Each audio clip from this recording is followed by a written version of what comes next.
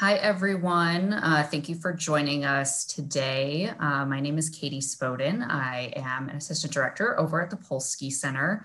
Um, the Polsky Center is the University of Chicago's Department for Entrepreneurship and Innovation, and we are very happy to welcome uh, Michael Rewkiewicz with us today. He is going to be um, giving a workshop on financial accounting for entrepreneurs. Um, Michael is a partner in the assurance and advisory practice at Frank Rimerman and Company and leads the firm's venture fund group.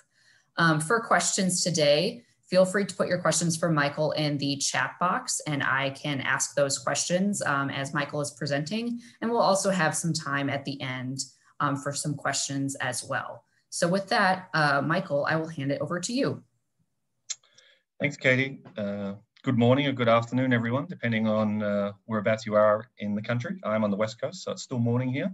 Um, thanks for joining us. And I wanted to just give you a little bit of an overlook of what we're going to discuss today is a lot of accountants will come on here and sort of go into the, you know, brass tacks of, you know, how sort of accounting works and give you that kind of workshop. I'm not going to focus on that.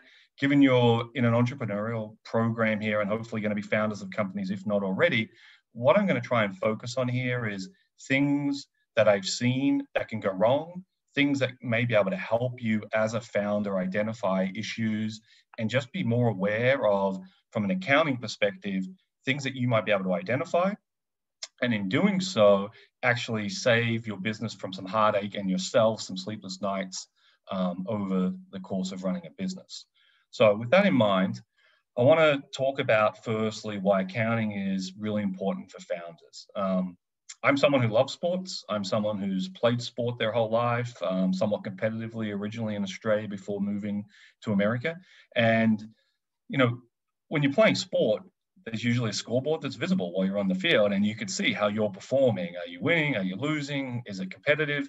And then here you are uh, running a business, and when you look at the financial statements, be it the profit and loss, the cash flow, the balance sheet, to me, that's your scorecard of the business.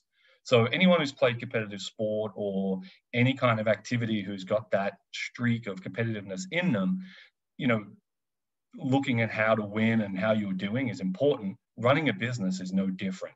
And those financial statements are the scorecard of your business. So playing sport and not understanding how to read the scoreboard I don't think any of us would do. Running a business, you really want to understand how to read that scorecard as well. So, what does it mean for a founder? Well, a founder, when you're starting a business, you've got a couple of things to do for the success of the business. And let's just start at the right at the beginning. You have an idea to go and raise capital, to get people excited about the business.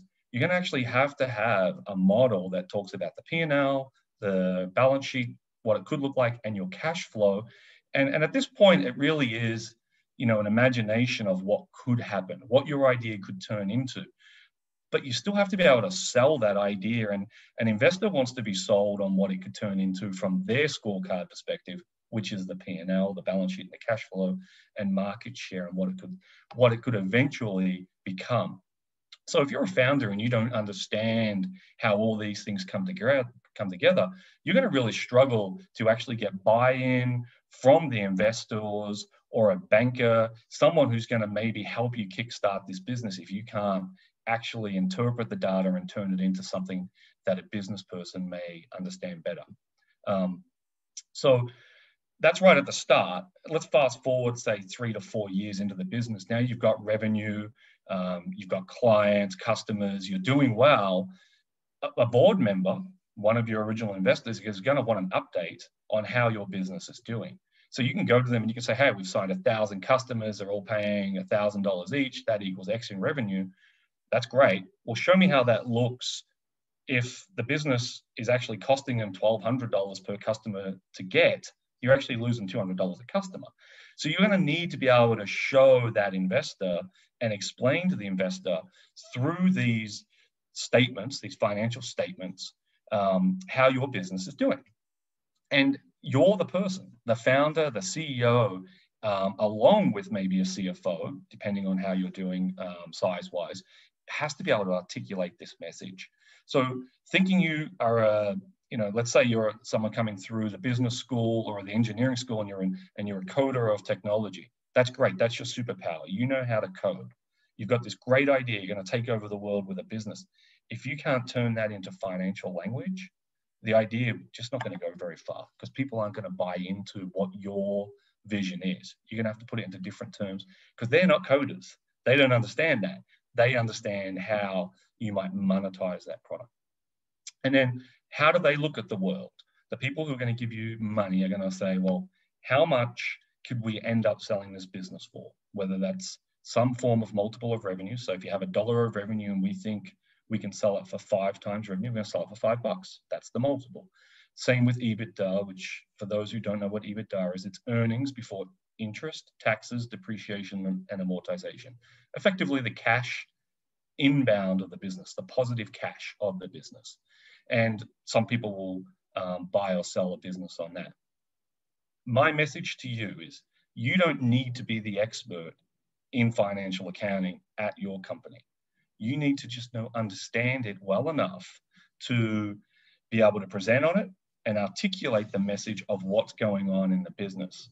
And a lot of founders either fall into the trap of knowing nothing or they get too far into the detail. You sort of want that Goldilocks balance here. Um, and there's people out there who can help you do that. Um, when you think of a business that you founded, the things, there's a really um, important or very uh, famous saying from a politician many years ago, and it was, you know, it's essentially saying what you don't know or understand is the part that will hurt you the most. Um, and this is it's really relevant for business. And what I wanted to talk about here is as a founder, um, how do you understand that something that's going on in your business may come back to bite you really hard um, later on in the business and you just weren't even aware. And the most common example we see um, is regarding sales tax. And, and, to give you a little bit of an anecdotal story on this, um, over the holiday break, I was talking to my brother-in-law, and he's he's in the diligence department of a very big accounting firm, and all he does is help people uh, work out whether they're going to buy or sell or invest in companies. And he sort of chuckled and said, "Well, the number one thing I find, and the number one thing I look for, is exposure to sales tax. Straight away, I can usually find some money to take off the price that someone's trying to sell the business for. It's that obvious to them when they're looking for it." And it is one of the biggest, if not the most common deal breakers in a smaller business acquisition. So, what is it? Um, the rules of sales tax across the country vary state by state, making it incredibly complex. Uh, the rules were written when businesses were really simple. By that, hey, I'm going to sell a TV, and we have to, it's a tangible product. It's very clear. We sold one TV. We have to charge, say, 10% sales tax on it.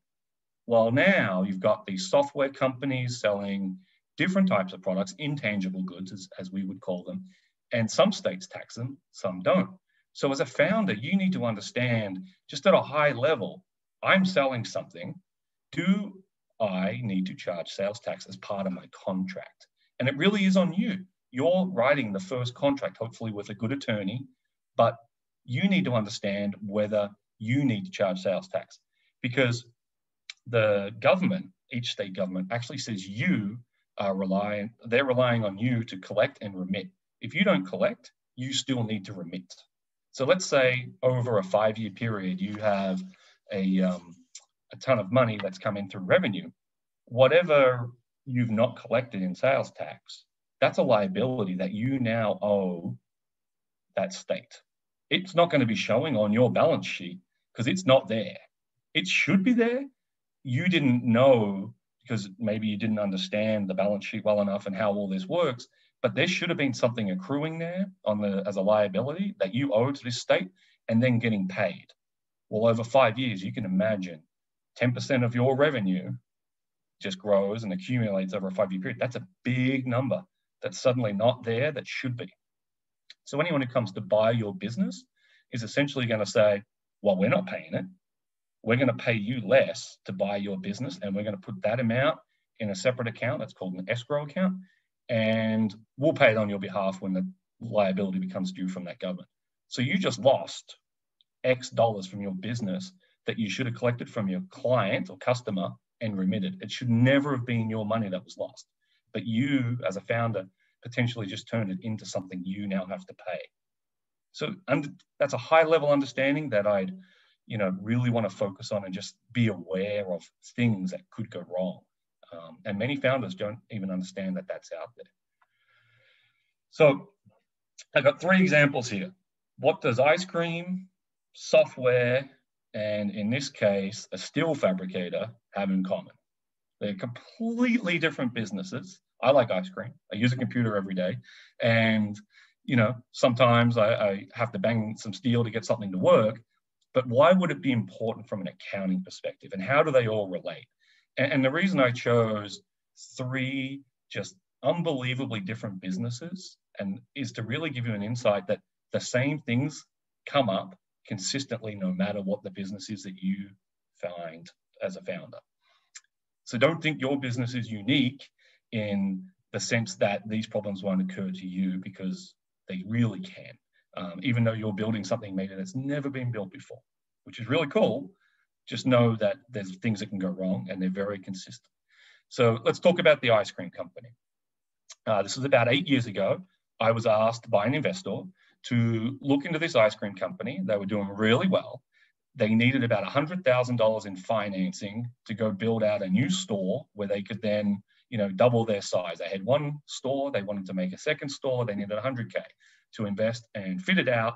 And then they worked out if they did that, that, that 100K would turn into about a million dollars of revenue, 300K worth of profit per year. Really good investment for this person.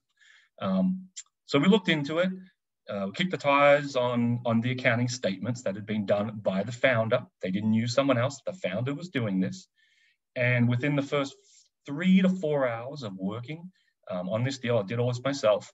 I found that the founder hadn't been paying payroll tax. So payroll tax is an amount that you're supposed to remit to the federal government based on the level of your payroll. Just wasn't getting paid.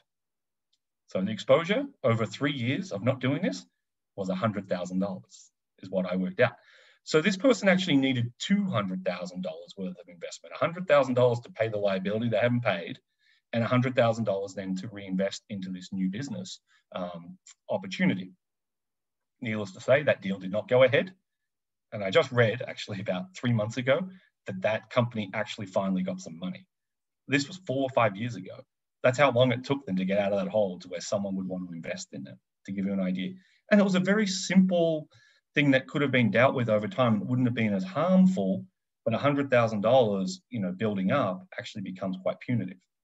So then the software company, if we run to that one, well, this was very similar to the example I gave before on the on the sales tax. It's a $50 million revenue company. Uh, they hadn't paid sales tax for four years, I think. Um, was actually longer, but I think four years is what we worked out was the longest the authorities could go back. And as a result, um, when they sold the company, the acquirer basically said was, they sold the company for about $200 million. They said, we're going to keep $20 million and put it in that account. So the founder and all the employees and stockholders basically lost 10% of the proceeds off the top that they'd earned to build simply because they had contracts and a process that wasn't remitting. And all of this could have been found earlier if there was a little bit more financial literacy to understand the ramifications of the contract. And then the machinist. Um, this one, again, was a payroll tax issue. I, it was in Ohio. I flew out there and I, I, met with the founder, and the founder was a second generation with his dad um, and founded this company. And he uh, was looking to sell the family business for about 80 million bucks. This was just for his family. This was their payday. This was their legacy. And the deal didn't end up getting over the line because of the same issue where they had significant payroll taxes that hadn't been remitted for a long time and they had to dig their way out of that hole. And all of these things are, are easily identifiable if, as a founder, you understand that, hey, I've got payroll, I've got employees. The simple question is, are we paying all the taxes regarding that? And or can I see it in the cash flow?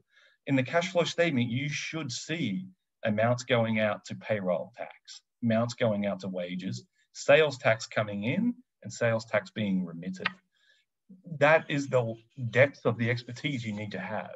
Just be aware that it's there. You don't need to be the one who's creating the cash flow, the balance sheet, or things like that. You just need to be aware that these things could go wrong.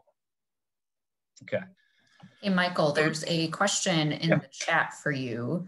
Is there a general rule of thumb for overheads and SGA other than salary we can use for initial calculations? Uh, say that again. Is there a general rule of thumb for overhead and SGA mm-hmm. salary that we can use for initial calculations? Yeah, that's a good question. It really is industry dependent because um, a lot of the time it's going to be like a percentage of revenue. I'll use for, for our example of our business, we're very labor intensive, very high labor cost. Those kind of expenses are about 20% of our business. Uh, for a software company, and then that's 20% of revenue, right? Um, for a software company, you know, it could be as, as low as 3% um, later on. In the early days, it might be as high as 40 or 50% just as you scale. So it really depends on, on where you're at. But if you if you think about it um, just holistically, and you said payroll was a million bucks, for example, and you had no revenue, so you didn't have that uh, sort of ability to, to work out that percentage, I would say like rent could be 6% of my overall cost. Um, then electricity and utilities is probably another 5%, 3 to 5%. And then you throw in some other things, you, you could get to like 15% of your payroll costs is where you get to.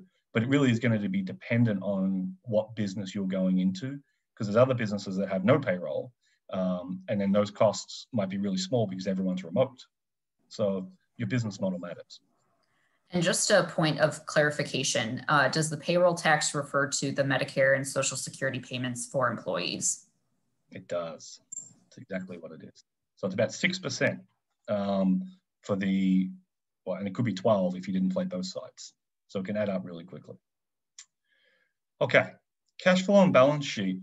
We put together a little graph here and, and what we wanted to really show is, well, firstly, the cash flow is you know, review of an operational impact for a period of time. Similar to the P&L, the P&L is really, profit and loss is really talking about, you know, how much money you're making on a, maybe an accrual basis, not a cash basis.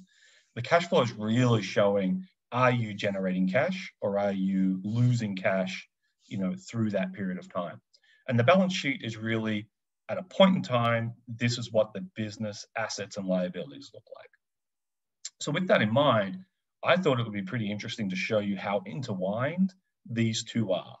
And if you have a look at this little diagram graph that we have here, you'll see that the same things sort of marry up on both sides, whether it's on the cash flow or the balance sheet, they can help you. And what the first one is, you know, reflect the strength and weaknesses, of the health of the business. If you have a strong balance sheet, most people will look at that and what does strong mean? Very asset rich, low liabilities. So you have a lot of cash, a lot of certain types of assets, and very few um, debts to the bank or someone else that you owe money to. The cash flow, from a strength perspective, if you're generating positive cash, as in there's more money coming in than going out each month, each quarter, each year, that's going to reflect that it's a very strong, healthy business. What's interesting about that is if it's positive, it's actually making the balance sheet stronger because you're increasing your assets. Therefore, the balance sheet's becoming more asset rich. If it's negative, then the balance sheet's assets are going down because cash is actually going down, just like the cash flow is telling you. So they're very intertwined in from a snapshot and a point of time how healthy your business is. And having one or the other allows you many things to do as a founder. And I, and I wanted to illustrate some of them and why it's so important if you have strong cash flow, you know, you can acquire a competitor, you can make a strategic acquisition. If you have a strong balance sheet, you can do the same thing. You may just take on some debt to do it or take on some more capital from an investor to do it because someone's willing to invest in the balance sheet. It's, it's strong, your company looks good. Um, the cash flow perspective and the balance sheet, again, from a borrowing perspective, they're intertwined because if you have strong cash flow, a bank will probably lend to you because they know you have the ability to pay it off. Um, so that was, and I just gave the example on the balance sheet straight up itself. Weak cash flow may actually leave you behind from a competition perspective because you're not reinvesting in your business enough. And the competitor who has strong cash flow or a strong balance sheet, in this case, may actually be investing more heavily into the same business line and actually take market share. And it leads to you actually being in this self perpetuating system. If you're the one with the strong cash flow, you can keep buying market share if you're the weak cash flow or weak balance sheet, your competitor who is stronger could actually do that. So those things are really intertwined, and understanding that relationship um, is really important. We'll talk a little bit more about the actual cash flow impact um, a little bit later in the presentation.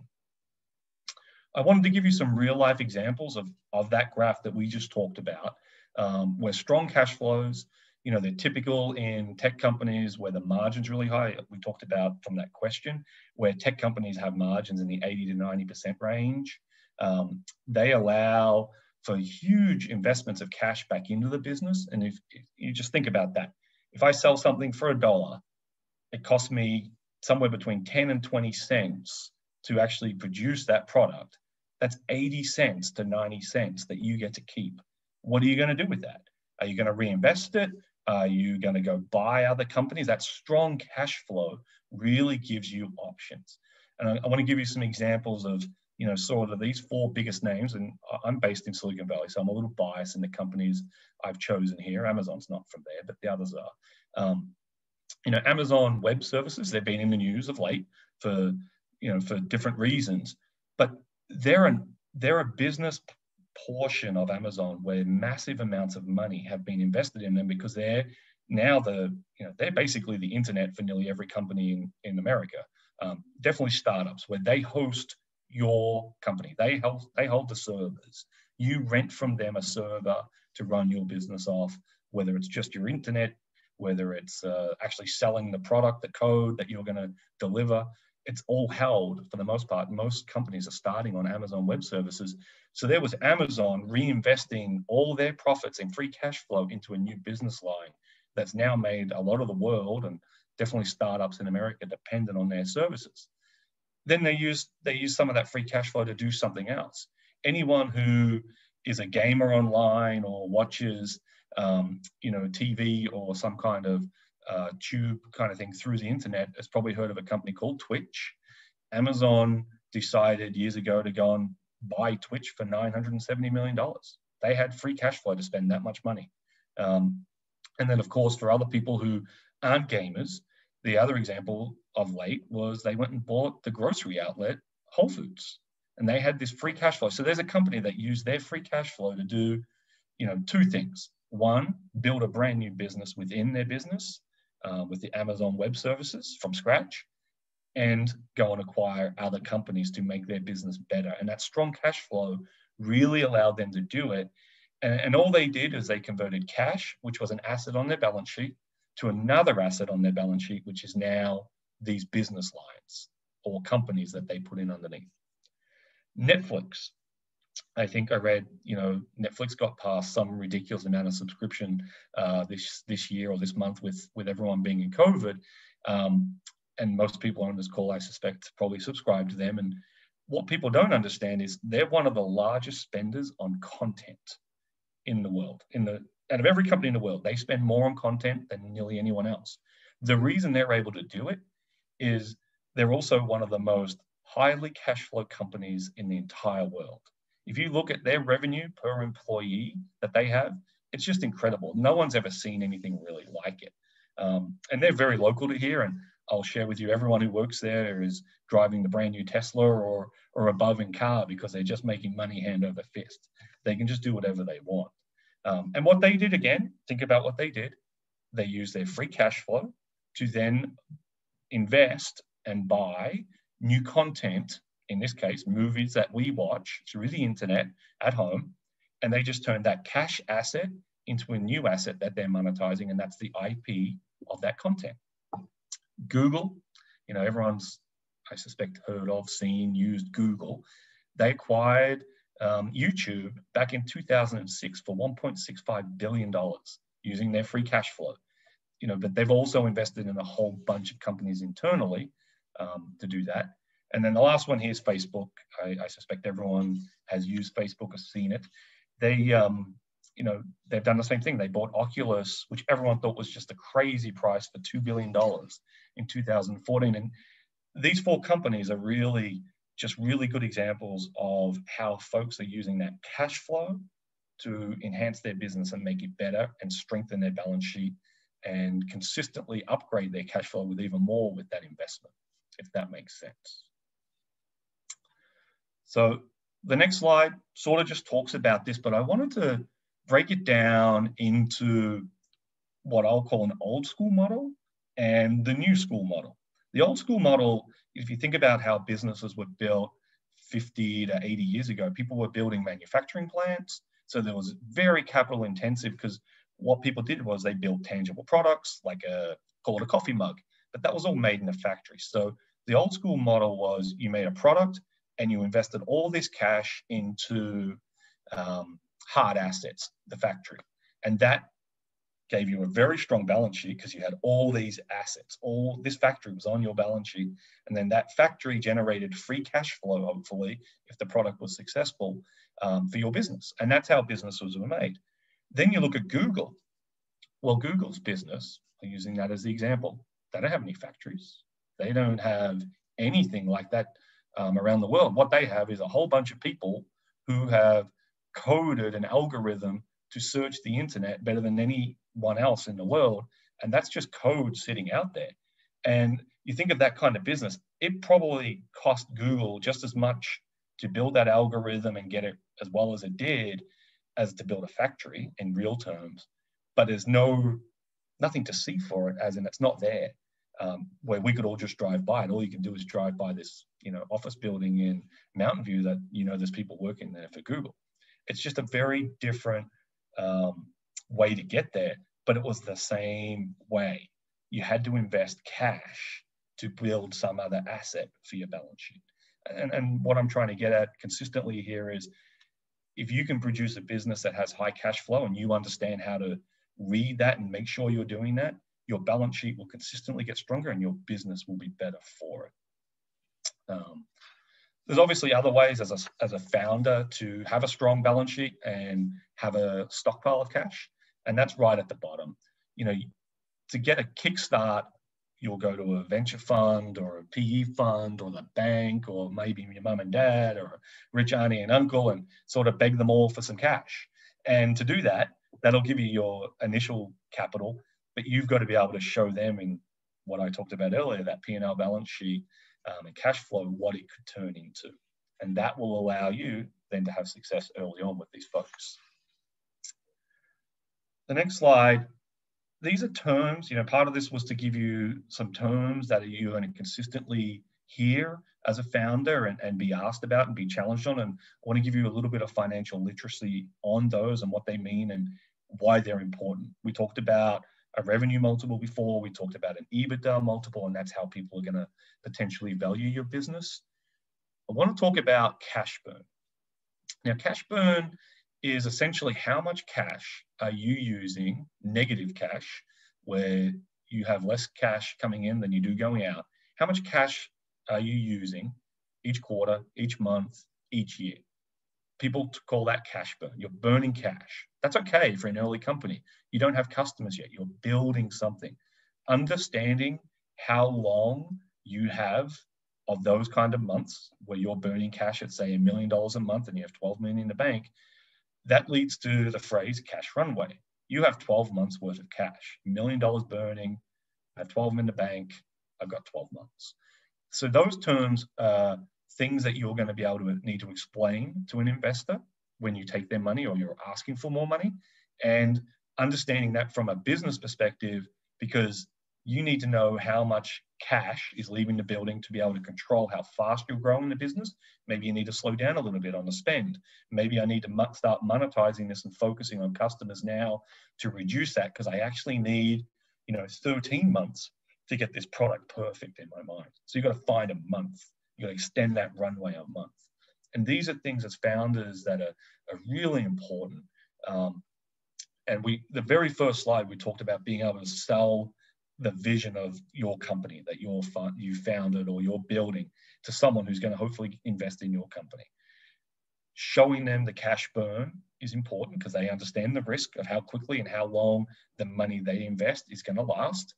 And the cash runway is really important. We're going to talk about that um, right at the end in why that's important to understand and how that can affect you at different points of the business. Um, and what I would suggest to you as someone who's a founder of a company or starting a company from scratch or becoming a friend of someone who's starting it and going in to help them is you really want to be able to look at the cash flow, look at the balance sheet, and from that snapshot, identify if there's problems in the business. Is there something here in these numbers that's really telling us something's not working? And that could be we're just spending way too much on employees versus how quickly we're getting this built. Maybe you just can't code what you're trying to build quick enough and you don't need as many employees because those extra employees aren't actually helping you get there quicker. You're better off saving that cost or that burn of cash on those two employees to extend your runway so the other employees can work on it long enough. And that's maybe how you turn that 12 into, into 13 months. Um, this is the one I wanted to talk to you about when it comes to understanding your cash burn runway and when to raise money and why. If you obviously, we talked about it before, if you raise money, becomes an asset on your balance sheet, your balance sheet looks strong. You're asset rich all of a sudden. You now have cash at your disposal. You're able to do a lot of things with that. Um, it increases your runway, of course, because you've got cash. You can reinvest. You can choose how long and how quickly to spend it. What's really important is when to raise money and why with those in mind. So let's just assume for this example, you've started the company up, your mom, your dad, your rich auntie or uncle, someone you know has, has graciously given you enough money to get this company of yours off the ground. You, you, you're looking at it and you've sold this idea, you've put it on paper and you've built this cash flow and you're like, I got my first round, an investor come in, fantastic, raised $2 million. And you, 12 months after raising that $2 million, which sounds like a lot of money, but you'd be surprised how people throw that kind of money around in Silicon Valley. So let's say you got that and you're 12 months in and you're looking at it and I've, you've burned about $800,000. You still have $1.2 million of cash in the bank. You think that's going to last you 12 months, okay, of what you're doing based on your cash burn. So if you're doing that, when do you, but you know that's only going to get you so far. You still need another $5 million in your mind, in your projections, in your model to actually build what you need to build.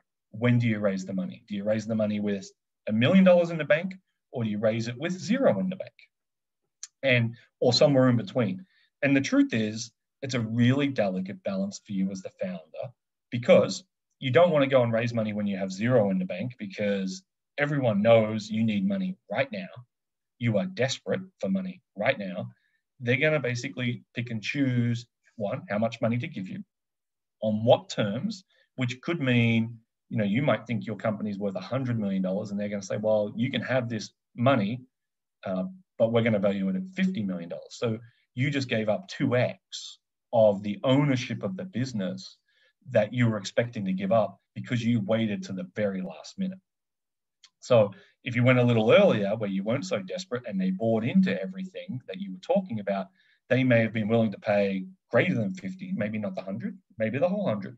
But you had the choice to walk away from that deal and go find another one. Or, you know, and gave yourself that length, just that length of time where you were not coming across as desperate. Um, and that's really important.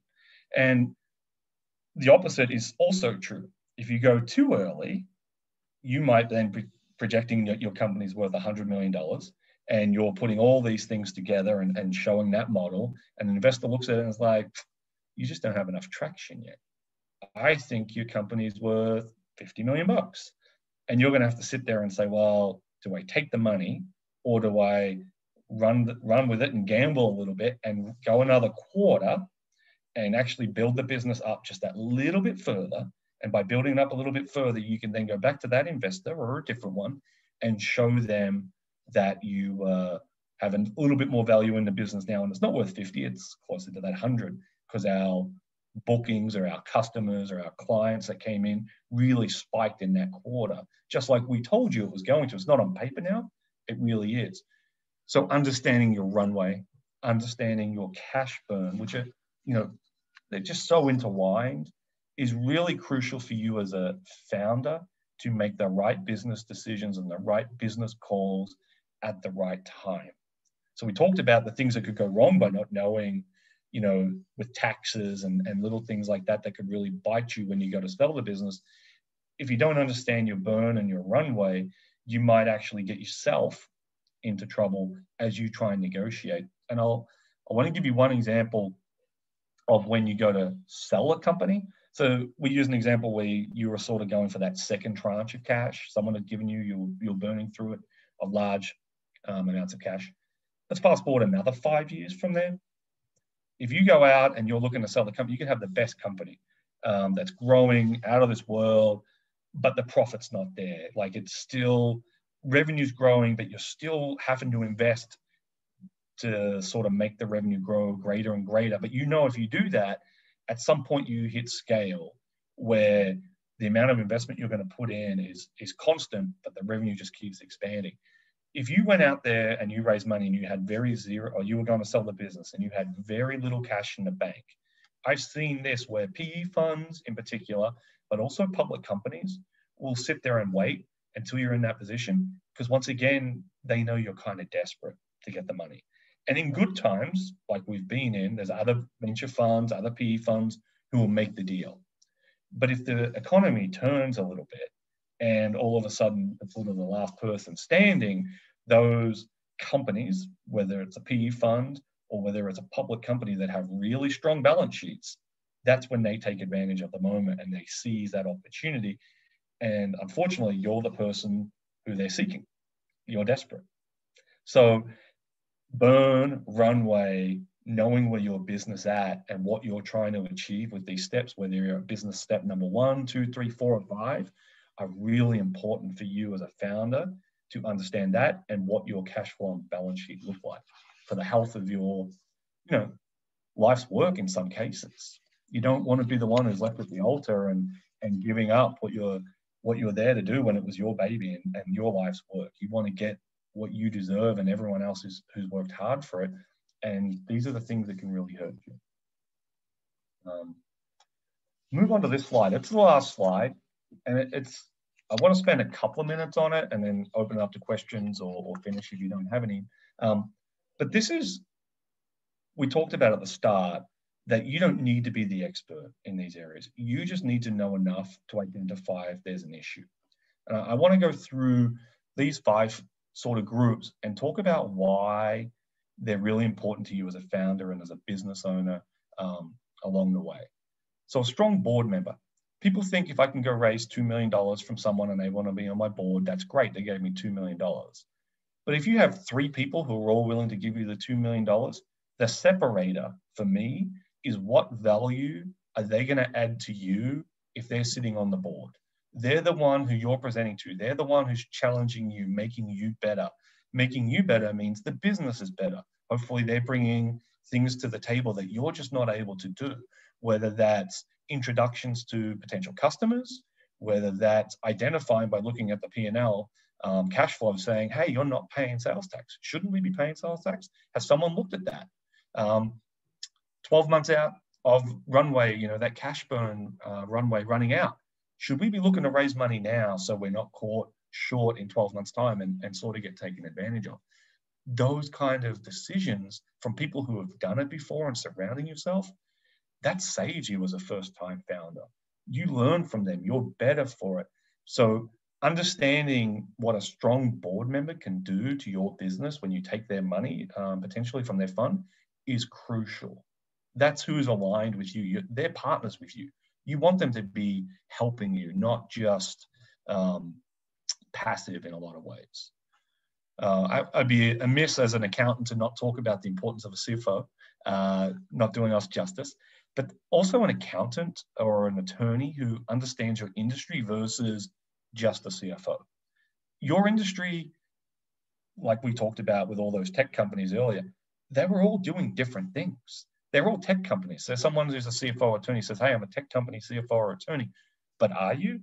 What I'm trying to build is more akin to an old school business where I'm building this server farm at Amazon Web Services. And I need to understand how to do all those things right.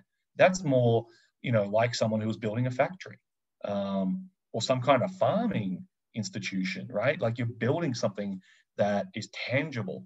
So you need to find someone who knows how to model that. Is the question earlier on the margin of excluding salaries, what are those costs like?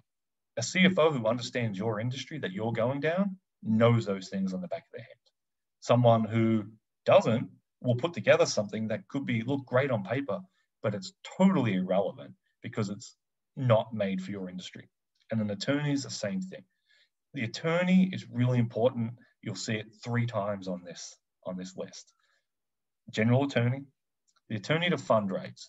As you go and raise money from investors, banks, you want an attorney who's done it before. They have an agreement in place that has been tried and tested so many times that anyone who's looking at it knows it's a good contract for both sides. You don't want to be wasting your time when you're trying to build a company on legal speak, legalese of a contract just because you went and got a cheap attorney who's never done this before. You're burning time. You're better off investing that time in your business. So a good attorney um, helping you fundraise with those documents will save you time and money in the end, even if the sticker shock looks like you're paying more upfront. You'll be better off for it. Sales contracts. Once again, attorney. Um, if you look back at some of those examples I gave you, sales tax was the biggest issue for most companies that we see, especially when they're smaller in size. And sounds crazy, especially for someone coming from Australia, because this was like a massive company. But a company worth about $500 million um, and under, this is their biggest issue when they're selling uh, that we see a lot of getting the contracts written the correct way from day one, because you use the good attorney, will, you as a founder save you all that heartache of things you didn't know about sales tax, whether I need to collect, whether I don't need to collect. Good attorney, good advice, basically allows you to scale with that agreement for each state that you expand into with being able to sleep at night, not knowing that this is not going to hurt you later on. And then later stage and later stage is, is all different and relative but I, I always say a company that's doing about $10 million in revenue and i call that later stage because depending on the business that you're in that may take four or five years to get to that just in what you've built it may take 15 years um, to get to that but once you get to it you sort of um, take off like a rocket ship um, and at that point you want to have someone who's helping you do an audit and helping you with income taxes because at that point you've got serious revenue. There could be income tax obligations in different states because all the rules are different for income tax as well that you want to handle. And the audit, the reason the audit's important, um, and I'm on the audit side, so I'll give you, you know, you can take the bias away hopefully, is there's two reasons. One, some of those things that we talked about, sales tax, will identify and help you, and um, you can then get them corrected. It's an internal uh, identification by using us, and you get to fix it. You have it all fixed by the time you want to sell the business or go raise that next round. So it, it's like going to the doctor one on one rather than being, you know, in the doctor's office out in the audience and everyone seeing what's going on in your medical exam. It's a way for you to do it behind the scenes, get your house in order, and build a better business for it. And then um, the other thing about an audit, if you read about everything that's in the media right now, is the biggest craze right now is these SPACs, right? These special purpose acquisition corporations. Um, and for folks in Illinois and Chicago, that's always been there. They've, it's actually been a mainstay of, of their financial model locally. But it's now, and it was in Wall Street for a while, but now it's really Main Street on in New York and San Francisco Bay Area where people are using these vehicles. The hidden secret of you've built this great company and there's a public company that's been set up to buy you, this SPAC, they're um, one of the biggest things you need is to actually be ready. And one of the things to be ready with is an audit, because that public company has to be able to say that the company they're buying was audited and it slips in. So I wouldn't, you know, I'm an auditor by trade here, but and I recommend getting an audit when you get to certain size, not doing it for just the sake of it, because there's no there's no benefit to you. But at the right point, bringing in folks like ourselves or a tax expert or the right attorney at the right time there's an inflection point in your business and you get the benefit from that for the longer term. With that, I'd like to thank you all for your time. Uh, hopefully, I didn't bore you to death. Hopefully, you got a little bit out of it. Um, and I tried to try to make this a little bit different from an accounting perspective, where I gave you real examples of a founder where things can go wrong um, and things to be on the look for, and hopefully just be aware of as you're building a business, trying to change the world. Thank you so much for that information, Michael. Um, everyone, feel free to put some questions in the chat. Uh, we have some a few more minutes left um, for some Q&A. But Michael, I'll just start with a question from myself um, to give people some time to think. But how can an entrepreneur evaluate those key players that you mentioned? And what should people be looking out for when they're trying to determine you know how do you figure out who's might be a good attorney and best fit for you in terms of those players that you mentioned? Yeah no it's a it's a really good question and it's sort of the right question. Um, what i i say this to people who are looking when i'm talking to someone right? I'm trying to sell um, personally that i may be good at what i'm doing and I want them to believe that. And, and there's a few ways for them to get there so they can then not feel like I've sold them on something that's not true, but they feel 100% comfortable. And, and this is what I would do if I was in their shoes is one, ask their friends if they've worked with us and their experience. So that's something you should do as a founder. You've got friends who went through business school, hopefully, or have started a company. Who are they using? What is a service like? What's their expertise like? Is it the same industry? That's great. That ticks a few boxes. And then the other thing I um, I think you should always try and get out of the service provider is try to get them to be candid on their weaknesses and their strengths and their confidence in, in serving you. And, one of the things I, to give you an idea of my sales pitch is I believe I'm an expert in helping a very certain type of venture fund um, that is being started. That's what I say my expertise is. And when I'm finishing my pitch, I basically say to the potential client, hey, every time you talk to someone just like myself, we all sound the same, we're all saying the same things. Ask them this one question, please. How many times have they worked with someone in their very first venture fund? Because that's the number one question for you. You need help. So for you, as a founder, you need to sort of also be self reflective enough to say, what do I need to know? And, and, asking the service provider, let them tell you, and then you can ask all the next folks if that works, or ask your friend who's a founder what they needed and see from that what question you should ask that you feel is of most value to you. And then from there, get their experience and see if it's a good fit for you. Great, thank you. Um, there was a question in the chat uh, if we can send the recording. Um, yes, we can send the recording um, after the presentation.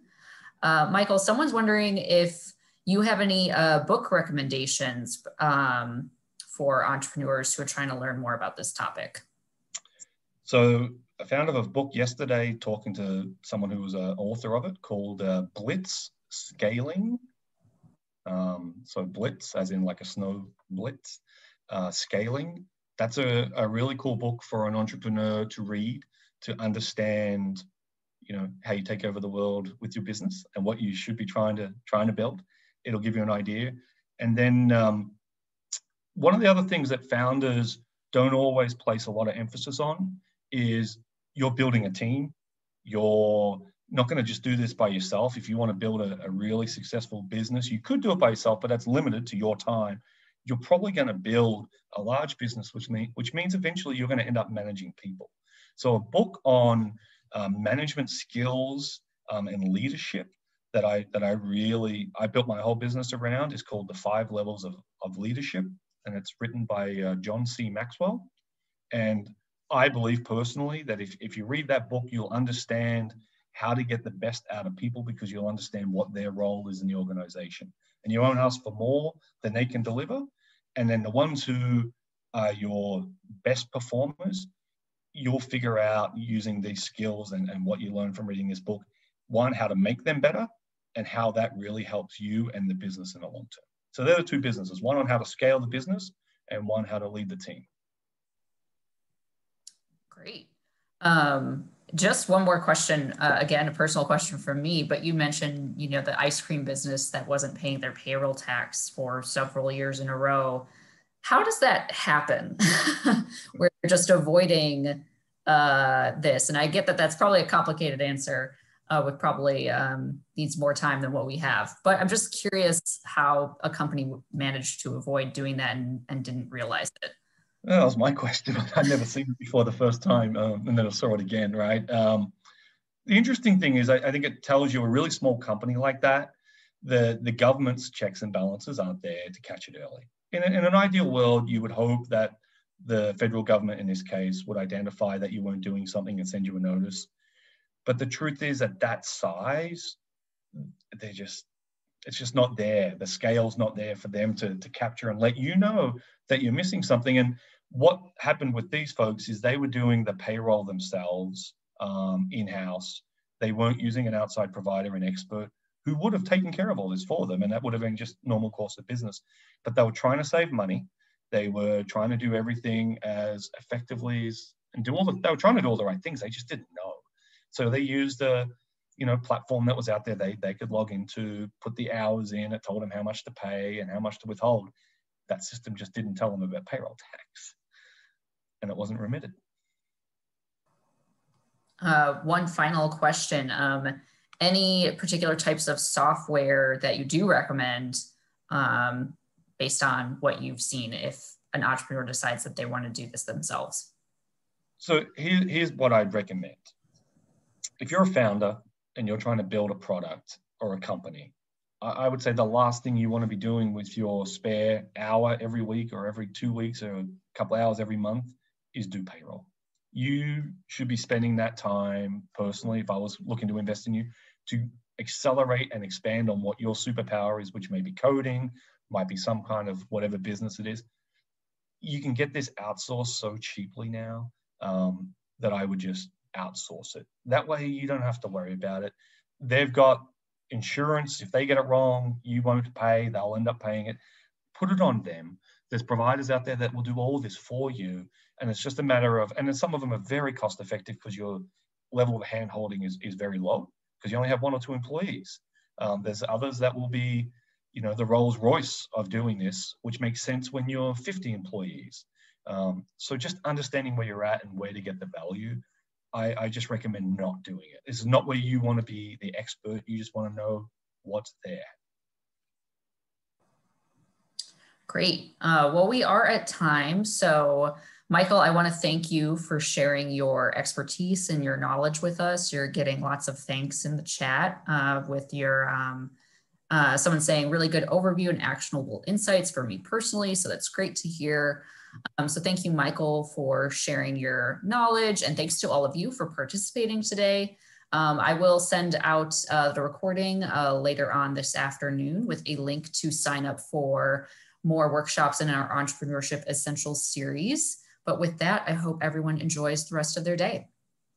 Thank you, everyone. It was a great opportunity. I appreciate everyone's time. Have a great day. Thanks, Michael. Have a good day, everyone.